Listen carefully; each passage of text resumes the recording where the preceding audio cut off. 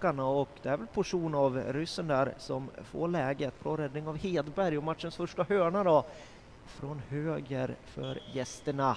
Hela sex skyttar uppställda. Bollen kommer in på Rudell som drar till. Bra rus därifrån Falun och andra bollen då! Ja, den sätter han dit på halvvolley. Adam Rudell. Brandin då, ska han hitta på någonting? Och vilken snygg passning av Brandin till Genefelt! Ska Genefelt göra 2-0? Nej, Hedberg tar den. Byggde på ett annat sätt tror jag än vad, vad Joakim Björkman har. Då. Så det tar väl en tid att ställa om från det där också. Visst är det så. Tredje hörnan i matchen och Oj. den sitter där! Han sätter dit den.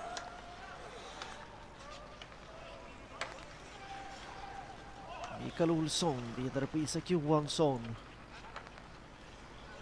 Och så dräller man igen här som friställer Porsjonov. Så kommer Ren med Hedberg, gör en 3-0, ja visst är det så! Ytterligare ett dräll ifrån Faluby.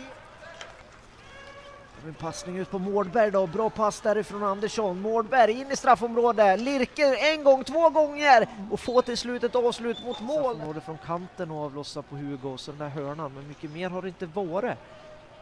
Ja. Man brukar säga att vid vissa situationer, nu gör Porsjonov det här riktigt bra, hela vägen in i straffområdet, ska han hitta 4-0, släpper in bollen och på returen då! Den sätter Jenefelt i! Viktigt att Viktigt att man håller i alla fall 4-0 nu då för Falu så att det inte kommer något mer i baken. För 4-0 kan man helt klart vända i en andra halvlek.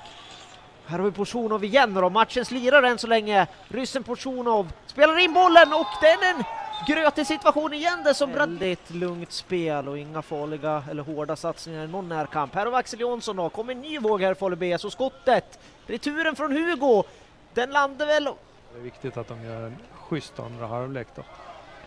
Ja, man ska ju aldrig säga aldrig, men nästa mål måste i alla fall vara Faluns i den här matchen, annars är det game over. Nu har vi Genefelt här nu då. Genefelt i bra Oj, högerläge, oj. spelar väl in, oj oj oj oj oj, vilken... Satt tillbaks Bäck på mittfältet faktiskt och att vi har Anton Lundberg på vänsterhalvan. Men eh, ja, det kanske är tillfälligt. Ja, vi får hålla ett lite extra öga på det här. Oj, där har vi distansskott som faktiskt sitter innanför mål där! Jakob Hugo kollar till vänster och... Ja. Förr i tiden kallades det för psykstjärt det. Ja, men, Psykröv, jag Ja. visste, visste inte om jag skulle säga det. Men nej, därför valde jag rumtackling, men psykröv har jag hört också. ja, så, men det, sådär, jag tyckte egentligen inte... Oj, nu är det Här har vi drömläge Ja. för... Ja, här är Mikael Olsson, jag Ja. visste det.